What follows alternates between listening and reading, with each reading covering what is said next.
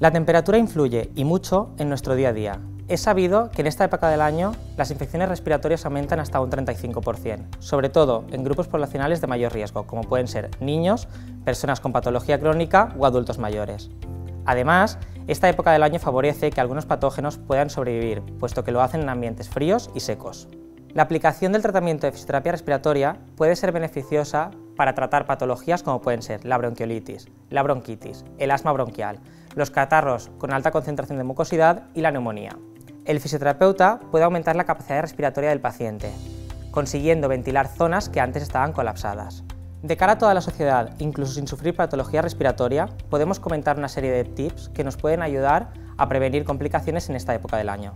A nivel de exposición, lo más importante es prevenir las temperaturas extremas. Además, es importante cubrir cabeza, manos y pies y prevenir también los cambios bruscos de temperatura entre el interior y el exterior de la vivienda, puesto que pueden descompensar el organismo. A nivel de alimentación, lo más importante es hidratarse bien, puesto que la sensación de sed va a ser menor en el invierno, pero no por ello debemos dejar de beber. También debemos de consumir alimentos con alto contenido de vitamina C, puesto que ayudan al sistema inmunológico, y evitar factores de riesgo cardiorrespiratorio como pueden ser el tabaco y el alcohol. A nivel de higiene, es imprescindible un buen lavado de manos y evitar lugares con alta concentración de gente y exposiciones prolongadas con personas que tengan patología respiratoria aguda.